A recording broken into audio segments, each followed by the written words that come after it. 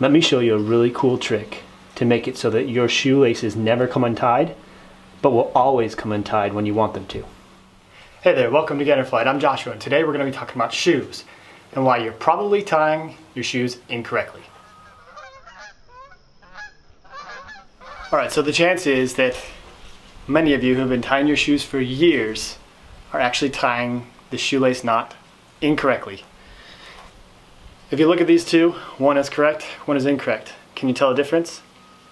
It's super subtle, but makes a profound impact on the performance of the knot and whether or not your shoes stay tied. I want to show you how you can tell if you're tying these knot correctly, how to fix it if you're not, and then I've got a little tip at the end that really makes shoe tying awesome.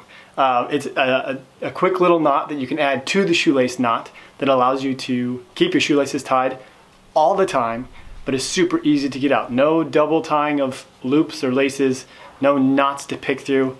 Super simple step that you can add to your shoe tying that'll make it so the knots, the shoelaces never come untied. Let me grab the other boots so you can see the laces a little bit better and I want to show you the difference between these knots. All right, so I'm gonna tie each of these boots and I'm gonna see if you guys can tell the difference between the two knots I'm, I'm tying here.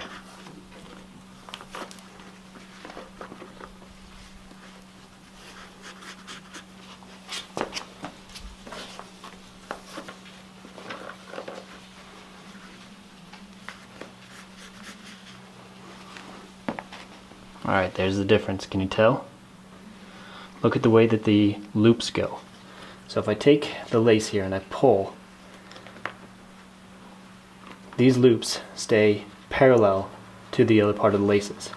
On this one, if I pull, look at how the loops turn perpendicular to the laces. This knot here is incorrect. You're tying the knot wrong.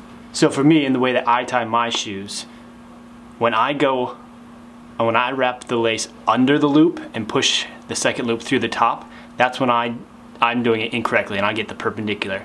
So I had to retrain myself to go over the loop and come up from the bottom. That's how I get the horizontal and the parallel loops to the rest of the lace. So if you tie your shoes and you find out that you're tying them wrong, you're getting the perpendicular, go ahead and just change the way that you wrap around that loop and see if that fixes your problem. All right, so I found a really cool graphic that shows you based off of which lace you start your knot on, which lace you loop it on, and how you loop around it, um, whether or not you're tying your knot correctly. You can tell just by looking at it and pulling on this, if it goes perpendicular, it is incorrect. If it goes parallel, it is correct.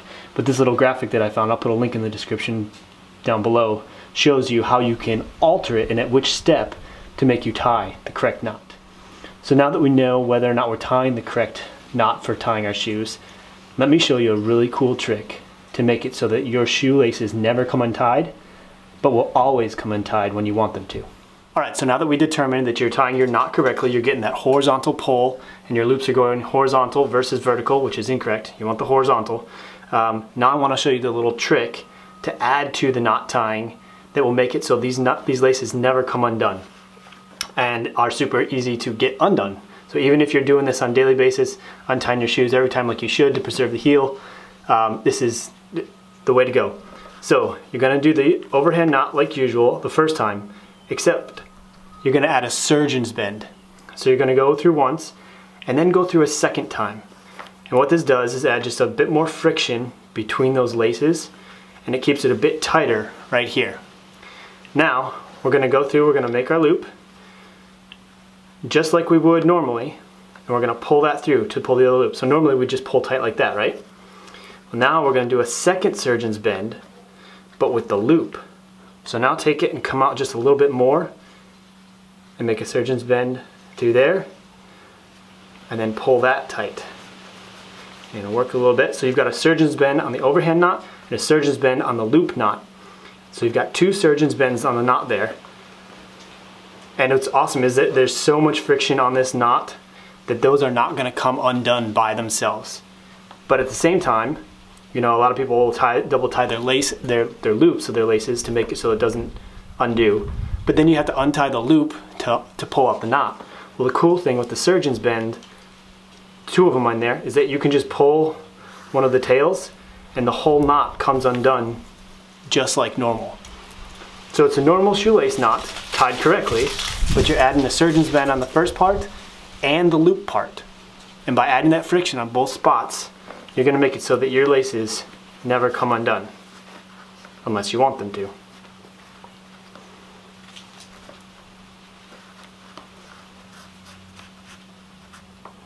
Now this is definitely going to take some getting used to. I imagine most of you, your shoelace tying is uh, second nature. You don't even think about it, you do it.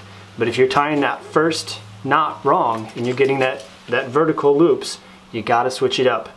Just doing this, making it the horizontal pull, will make your shoelace tying stay together much better than performance than you have been having. But go ahead and add those surgeon's bends in there and it's going to make it awesome. You're never gonna have to deal with untied shoes again. And this will work on boots, it'll work on gym shoes, it'll work on dress shoes. It doesn't matter the thickness or the style of laces. Adding those surgeon's bends to that knot, that's the key. All right, so again, we're gonna do the regular knot here, except go around a second time. Make your loop, go around like normal, come through with that loop, and go around a second time and pull it all tight and you're good to go. Well, there you go guys. Fixing your shoelaces so they don't come untied. Super simple process. One, making sure that you're tying the correct knot and getting the, the knot horizontal. And then two, adding in those surgeon's bends to the knot on both steps. Really make it a bomb-proof knot that does not come undone. It'll drastically improve your life in so much as you're not going to be tripping over uh, shoelaces. And if you teach your kids how to tie this knot from the get-go, you're going to set them up for success for the rest of their life. If you found some value in this, go ahead and give it a thumbs up. Consider subscribing to the channel. And uh, check out Ganderflight.co for all of the other tips and tricks, life hacks, DIY projects we're doing. And I'll see you on the next one. Take care and pay it forward.